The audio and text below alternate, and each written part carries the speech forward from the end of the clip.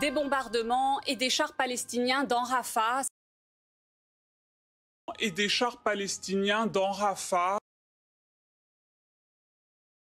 Des bombardements et des chars palestiniens dans Rafah. Ce matin, l'armée israélienne a pris le contrôle de la partie palestinienne de ce point de passage avec l'Égypte. L'accès pour l'aide humanitaire au territoire palestinien a été coupé. Le point tout de suite sur la situation avec Agnès Baramian, Soufiane Yassine et Maël Benoyel. Ce sont les images de ces chars filmés par l'armée israélienne.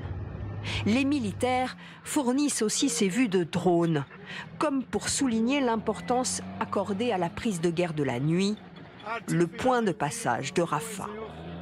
C'est le point d'entrée principal de la bande de Gaza.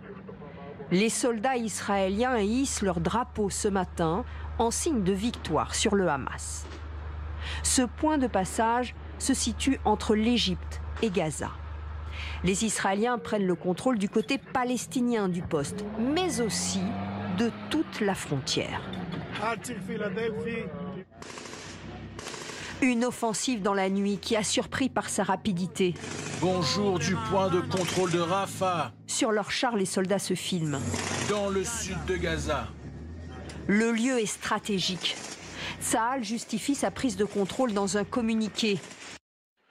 Selon nos renseignements, ce poste frontière sert à des actions terroristes.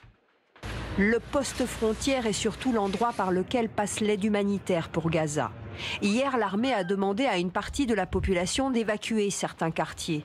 La fermeture du point de passage de Rafah inquiète les humanitaires. Évidemment, on est très inquiète pour le potentiel impact sur la population, euh, sachant qu'on a un million trois euh, de civils à, Rafah qui, évidemment sont euh, dans un état d'esprit très très inquiet, sinon en panique.